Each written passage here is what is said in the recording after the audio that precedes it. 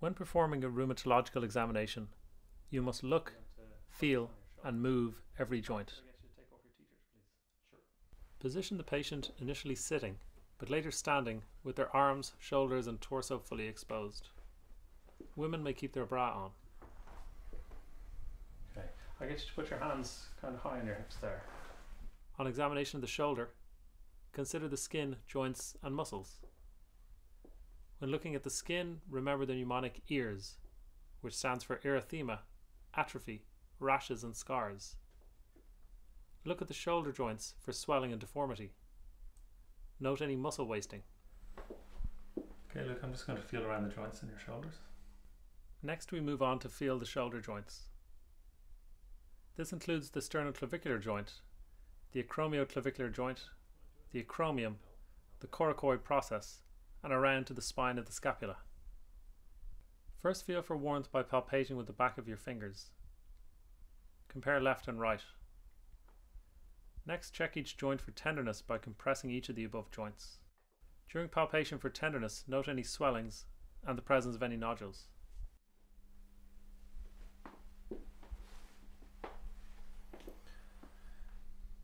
So Luke, could I get you to stand up please?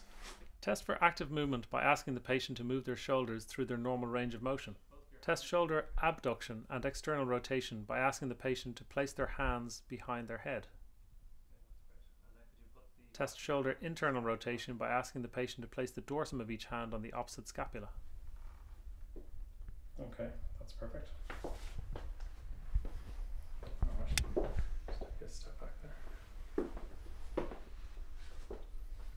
Okay, so I get you with each arm to go all the way up, like that, straight out in front of you. Test flexion of the shoulder by asking the patient to lift each arm out in a straight line in front of them until their fingers are pointing at the ceiling. That's perfect. And now the first arm, I get you to put your arm back as far as it'll go. Test extension of the shoulder by asking the patient to raise each arm back in a straight line as far as it'll go. Now I'll get you to swing your arm out as far as it'll go to the ceiling. Great, and with the other arm. Okay, perfect. And now can you bend your elbow like that? Can you push your arm out that way? Great, and now in this way. Great, and now do that with the other arm. And then keeping your elbow. Yeah. Okay. Can I get you to put your elbow into your side? With their elbow bent at 90 degrees and tucked into their side, apply pressure to the lateral side of the forearm. Ask the patient to push against your hand. This tests external rotation against resistance. You to put your elbow in there again. With their arm relaxed at their side, ask them to raise it out into abduction against resistance.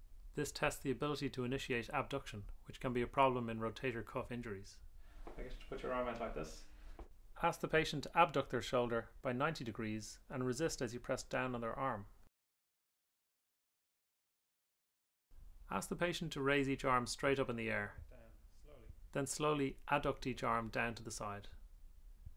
This tests for painful arc, seen on active adduction between 60 and 120 degrees in impingement. Slowly till your side.